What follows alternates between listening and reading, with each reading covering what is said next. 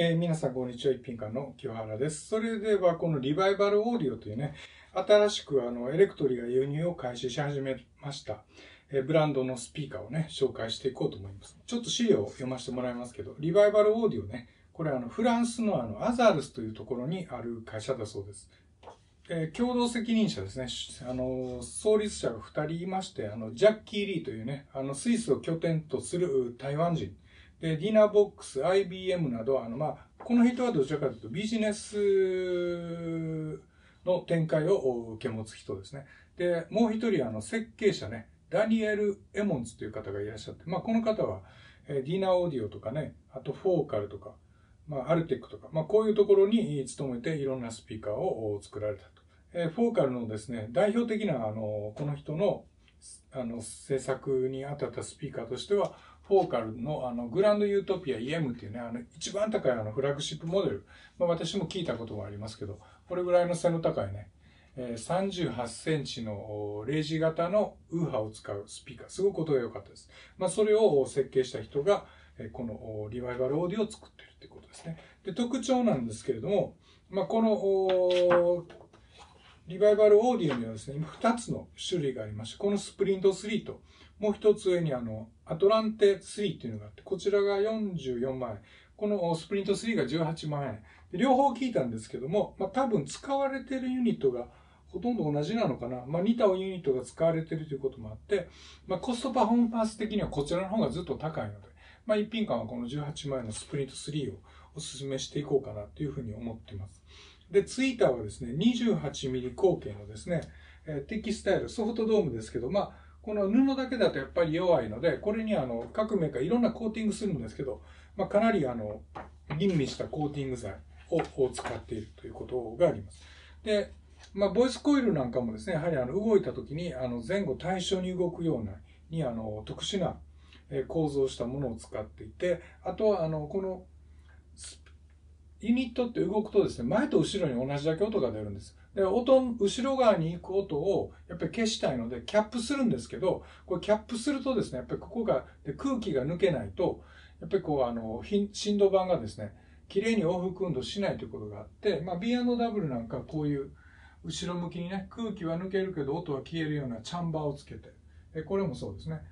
で、えフォーカルなんかもこう後ろに空気が抜けるけど音が抜けないようなチャンバーを使って、このスピーカーもですね、まあ、そういうチャンバーは使ってませんけども、やはり後ろにウーハーもツイーターも空気は抜けるけど音は抜けない。要は後ろの排圧を高まって、ユニットの動きを阻害するようなことがないようにという配慮を、まあ、最新のですね、配慮した設計のユニットを使っているということですね。であと、ウーハーがですね、非常にウーハーのあのこの材質に非常に特徴がありまして、まあ、これはあのグラスファイバーみたいに見えてますけれども、まあ、グラス、ガラスはですね、そうですね、鉱物系ですね、シリコンですから。あと、普段は我々が聞いているのはカーボンですとか、こういう多分コンティニウムもそうなんですけど、これはあの石油系、オイル系の素材なんですね。で、グラスファイバーっていうのは鉱物系。これはあの玄武岩っていうのを使った、あの、火山岩なんですけど、玄武岩というものを材料に使ったこういうファイバー。玄武岩サンドイ玄武岩サンドイッチファイバーというふうに書かれてますけど、そういうものが使われているというのが、まあ、非常に特殊で、まあ、彼らのこの、あの、書いている説明書によると、こういったあ玄武岩を使うのは、えスピーカーとしてはこれが初めてだというふうに言ってますね。でこのあのスプリント 3, 3のみ非常に大きな特徴があって、こちらはですね、なんかバッフルがついてます。で、こちらはバッフルがありません。どういう風になってるかというと、こういうものがありまして、でこういうあのバッフルの延長線上みたいなものがあって、でこれはね、ウーハーのグリルが外れるんです。で、ここにこう、マグネットではまるんですけど、で、これがですね、後ろもこんな風になってるんですけど、これがですね、マグネットキャッチでこれにこうぴったりひっつくと。ね、でひっつけるとこうなります。で、これを外すとですね、こんな風になるんですけど、さらに、ウーハーのグリルを外して、こういう状態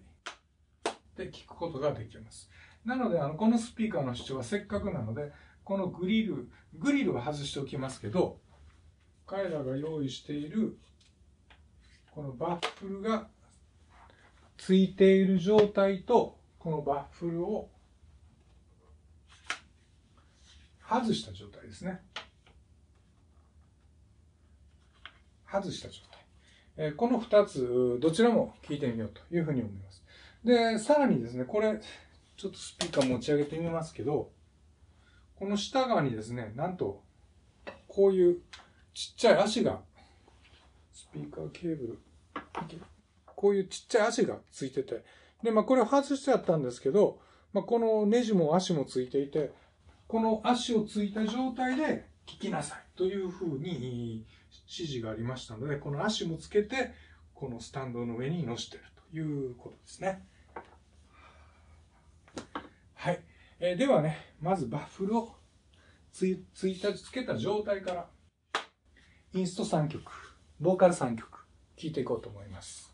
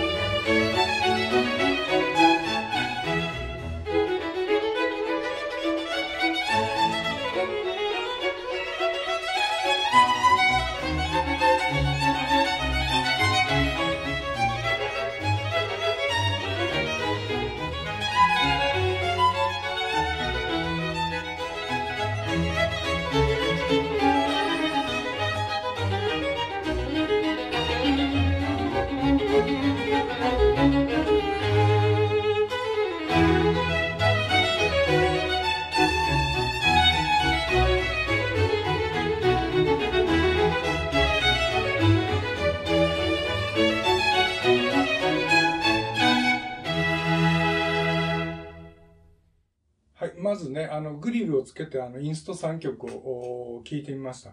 えー、せせらぎなんですけども、あの、水の量はですね、まあ、このクラスのスピーカーとしては、まあ、普通かなという感じですね。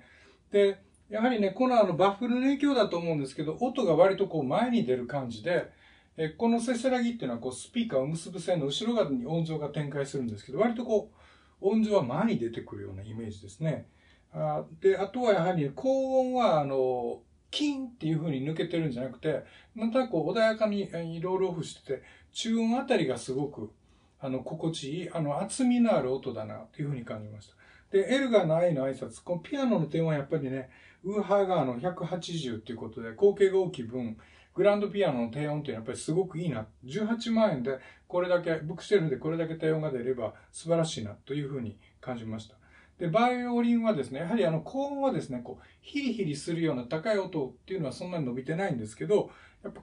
弾いてるところの雰囲気とかよく出て、この動きはあの大きくて、で、こう、ビア、バイオリンとピアノがですね、非常にこう、柔和にというかね、温かくこう、混じり合って、温かい音っていう感じですね。柔和な音っていうかね、穏やかな音っていうか、別にその、つまらない音っていうんではなくて、こう、温かい雰囲気で音楽を鳴らしてくれるなと。B&W みたいにこう、シュッて切り込んでくるんではないんですけど、そういう意味ではなんとなくちょっとあの、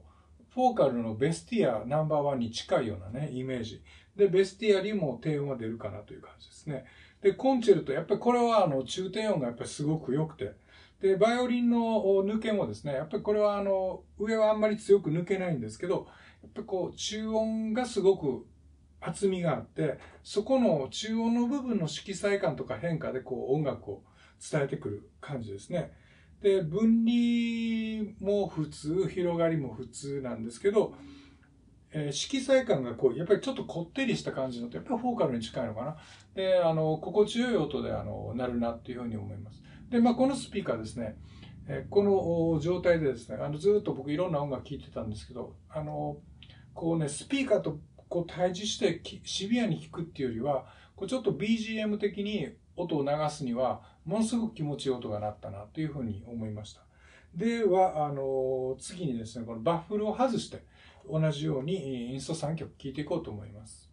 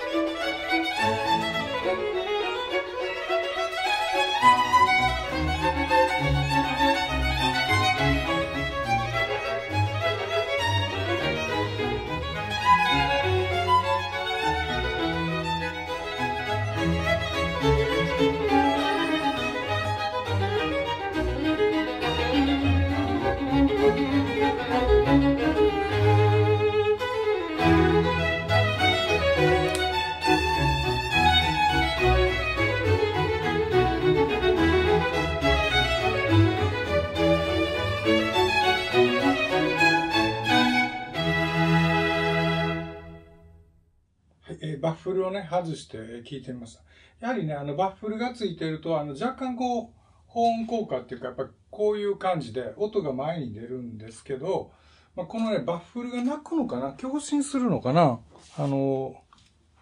これね、意外にそんなにしっかりした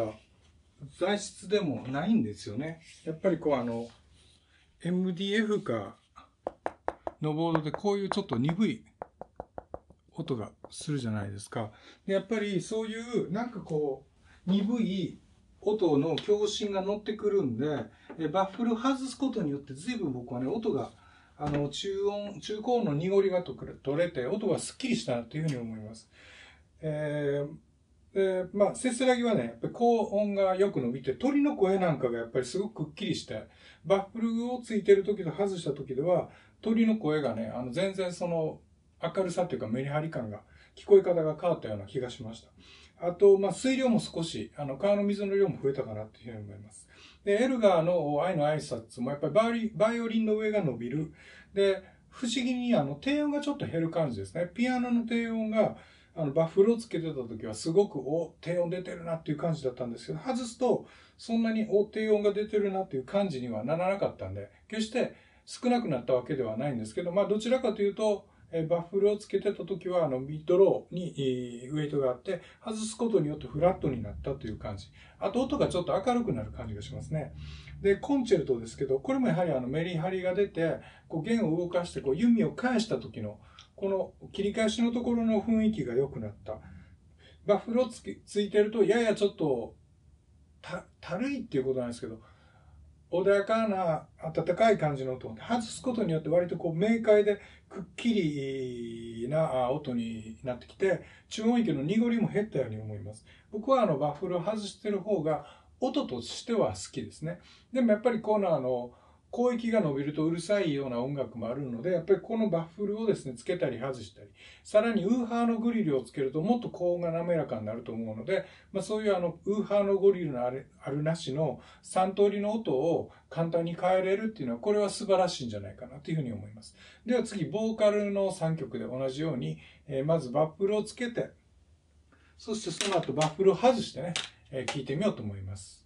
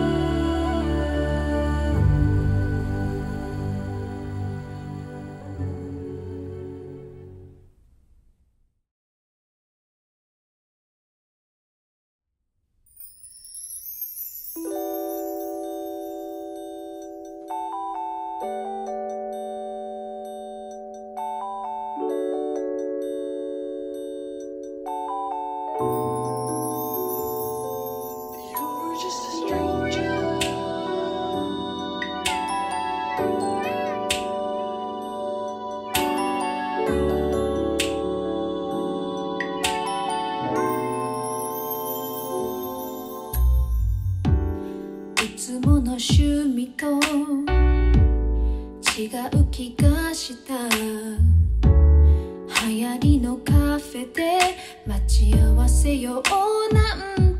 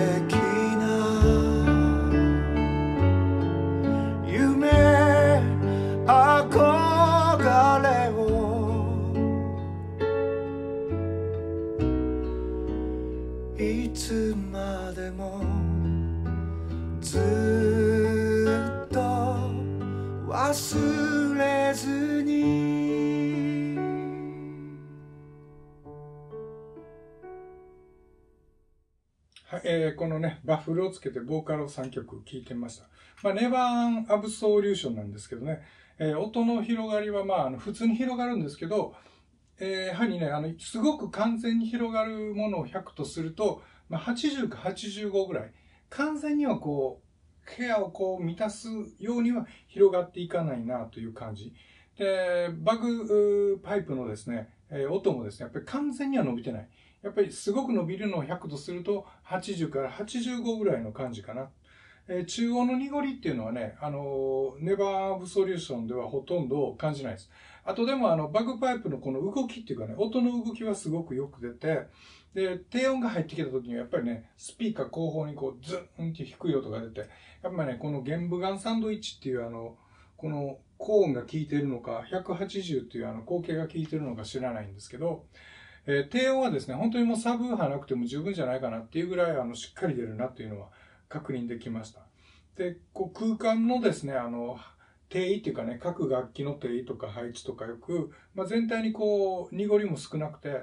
えーなんかね、広域のメリハリが強くて、音がすごく細かいっていう感じしないんですけど、えーそれぞれのあの、楽器の動きとか細かく見て、解像度はあの、高いなっていうふうに感感じました。やっぱり中央にこう音が寄るんで、あの、サウンドトラックっていうね、雰囲気がすごく、すごく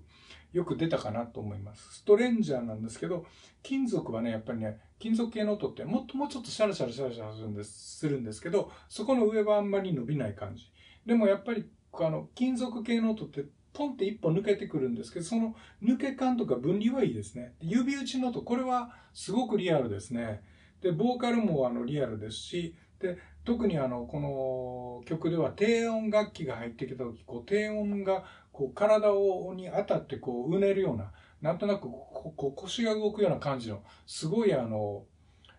なんていうのかな、あの、パワフルというか、あの、説得力のある低音が出ましたね。これは今まで聞いたブックセルフ他のスピーカーでは、ここまで低音が出たっていうのは、あの、なかったというふうに思います。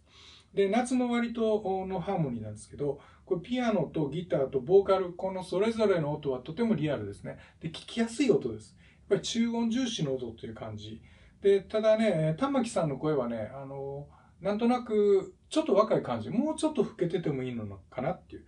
で、明るく華やかな感じの音ですね。で、それはまあ上がわずかに詰まるのと、まあ、鼻をつまんだほどではないんですけど、やっぱりちょっとラウドネスがかかったような中域の重視な音になって、まあ、ハイエンドのですね、ウルトラフラットな B&W みたいな音ではなくて、なんとなくあの、よくできたフルレンジ、いい意味でよくできたフルレンジ的な音だなっていうふうに思います。じゃあ次はね、バッフルを外して、で、なおかつね、この足が結構、あの、柔らかい、割とね、柔らかい系の足が、のゴムみたいなのがついてるんで、まあ外してちょっとカメラで映しますけど、それがね、あの、やっぱり、なんとなくこの、中、これがなりきってないというか、精神されてる感じにつながってると思うんで、ちょっとこのバッフルも足も外して、で、ボーカルをもう一度聴いてみようと思います。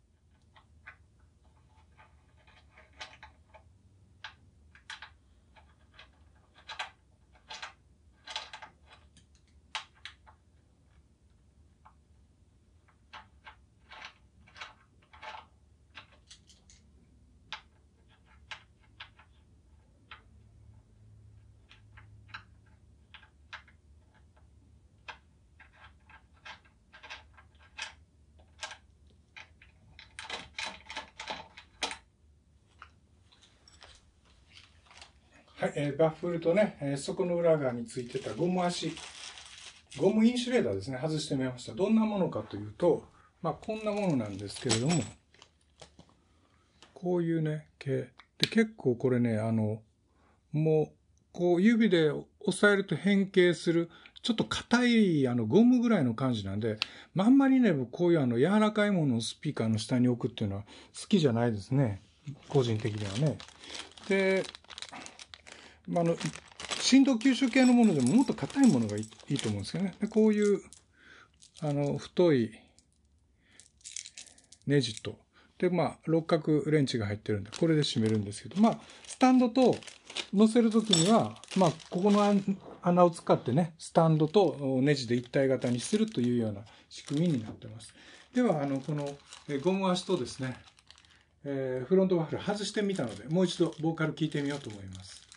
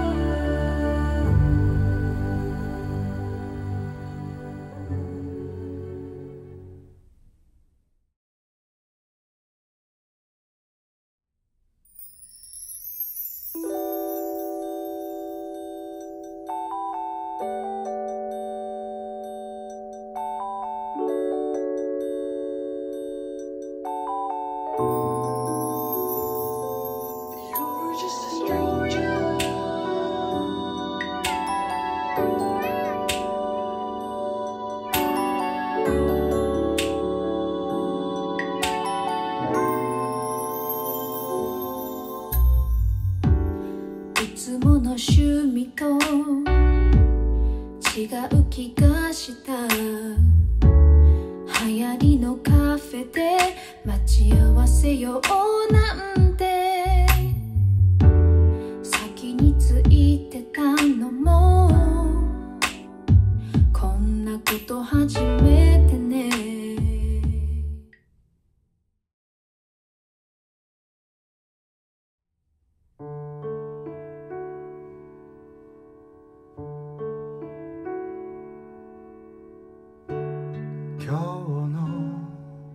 ささやきと昨日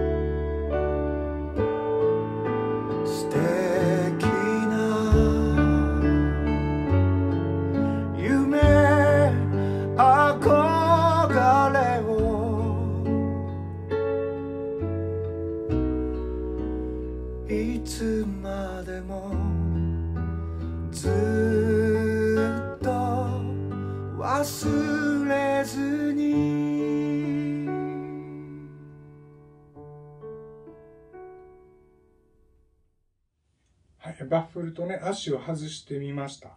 で、やはりね、あのこう、中域の濁りとか、なんかフォーカル的で、あの上、上がこう落ちていって、下はこう出てるんですけど、ちょっとこう、もやっとしたところがあってね、なんとなくこう、スモーキーでウォーミーな感じがあったんですけど、まあ、バッフルの足を外すことによって、それは本当にあの、完全に消えたというふうに思います。今鳴ってる音は、あの、一般的に僕がいろいろここで聞いているスピーカーと同じようなバランスなので、まあ、個人的にはこのバランスがあの好きかなというふうに思います。えーネバーン・アブストリューションね。やっぱ音の広がりが80、90だって言ったのが、これ完全に100広がるようになりました。で、低音がですね、やっぱりスピーカーの後ろ側にきちっと定位してですね、えーこう、スピーカーの、このスピーカー、まあ、ある意味らしさが失われたって言ったから、らしらしさが失われたんですけど、まあ、フラットになって僕はすごく良かったんじゃないかなって思いますね。あとバグパイプの音ね、あのこの音階を変えたところの操作なんかがちょっと分かりにくかったので、そういう細かいところまですごくあの見えるように聞こえるなっていうふうに思います。で、低音がすごく豊かだっていう雰囲気はなくなったんですけど、それは多分上が伸びたことによって全体域がフラットになったんで、特に中低音にえ耳がいかなくなったためだと思います。低音はよく出てると思います。で、本当に心地よくて、あの、深く静かな、あの、音でね、この曲を聴くのにちょうどいいバランスになってるな、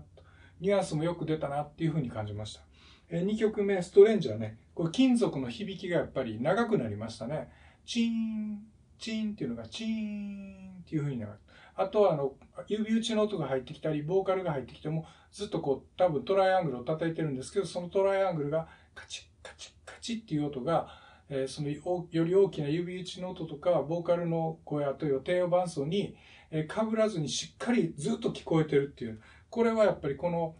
解像度の高さっていうか、それぞれの楽器をきちっと鳴らし分けるっていう能力は、やっぱりこの20万円程度のスピーカーの中では非常に高いんじゃないかな。か、あの、性能はいいんじゃないかなっていうふうに思います。で、まあ、全体的に濁りが少なく、解像度も高い。やっぱりこのバッフルとか、アシとかっていうのは少なからずこのスピーカーを響かせてしまったことによって、余計な共振を発生して、えー音を濁らしていたんじゃないかなという気がします。えーこのあのアッシュもバッフルを外した音であれば値段は若干高いんですけど、えー B&W の 606S3 とかベスティアナンバーワンボーカルですね。よりもこっちの方が僕はいいんじゃないかなと思います。まああと、ただね、あの今回のスピーカーの聞き比べでも思うんですけど、こう、ある程度ダメなやつはあるんですけど、いいスピーカーってどれも結構いいんで、まあ、多分ね、どれ買っても文句は出ないと思うんですよ。だからやっぱりこのメーカーが好きとか、まあ、これだったらバッフルとか、いろいろ音が変えれるとか、やっぱりこの形がこれだったら、そっけなさすぎて嫌いとかね、B&W の方がかっこいいとかね、えーベスティアの方がなんかこうスピーカーがこうツイッターがくぼんでてなんとなく魅力的だみたいなところで決めてもいいんじゃないかなと。ね、ちょっと雑な言い方になりますけど、あの、どれでもいいんじゃないかなっていう気がします。どれも、だって、平均点以上になってるんです。ということで、えーあと夏の終わりのハーモニーもやっぱりもうピアノの響きがこのバッフルとアッシュを取ったことによって圧倒的にこうこういう風に聴いてたのがずっとこう響いてるっていうあのイメージができましたね。で、この響いてる中に次の音が出てきて混ざるからなおかつなんか気持ちいいんですけど、そういうあのー良さ、ハーモニーの良さがきちっと出てきたなっていうふうに思います。で、ボーカルもですね、ちょっと若すぎたなと思ってたのが、本当にこう、玉木さんの実年齢に合った声の、あの、雰囲気に聞こえました。ギターの切れ込みも良くなったし、普通にいい音です。で、あの、なおかつ、やっぱりこの 180mm っていうね、ウーハーは、今回聴いている25万以下の中では最も大きいんですけど、オベロン3がやっぱりちょっと値段が安かった分、そのウーハーが響いて余計な濁りを発生してたんですけど、これやっぱり値段が高い分、そのウーハーの濁りをきっちり抑えてるっていうのと、えー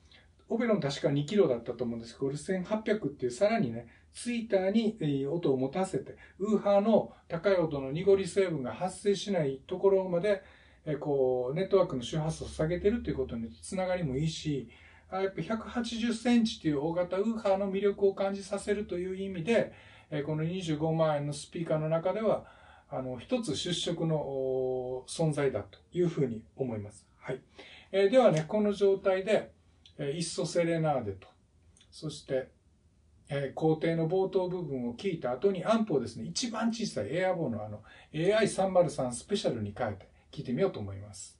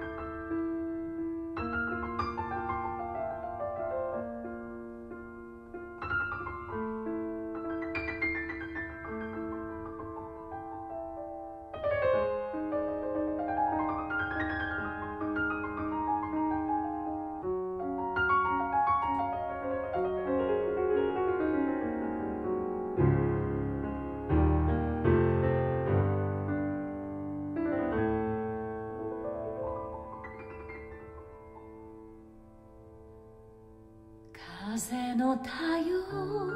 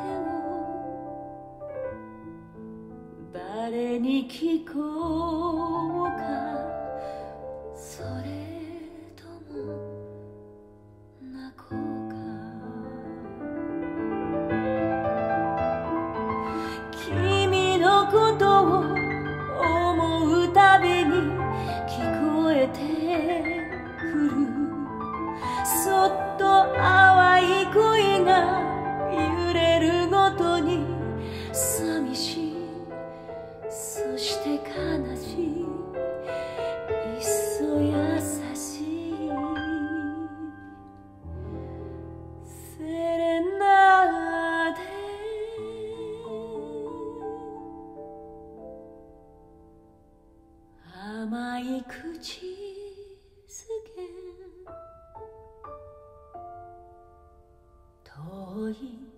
思い出